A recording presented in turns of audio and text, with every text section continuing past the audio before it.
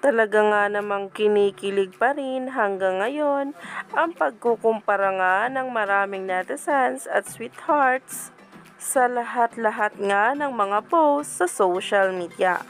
Dahil ang pagiging consistent nitong si KD ay hindi nga daw mapapantayan ng kung anuman or sino man. Kaya naman narito na nga guys ang ating latest update tungkol sa dalawa. Dahil kung makikita nyo nga sa larawang ito, habang kinakanta nga ni Alexa sa ASAP ang mismong lyrics na I close my eyes and fly out of my mind.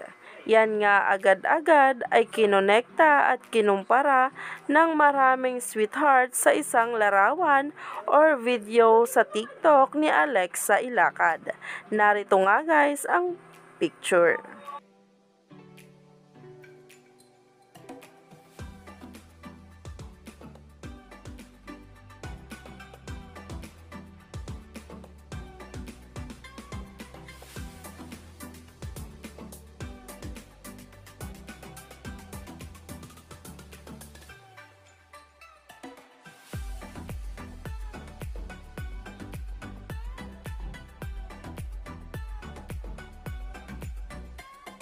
Na kapag magkasama ay talagang may sariling mundo nga silang dalawa.